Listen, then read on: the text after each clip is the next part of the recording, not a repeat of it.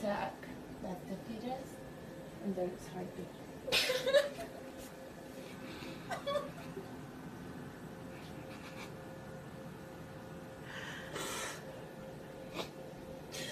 I'll stop measuring. We don't.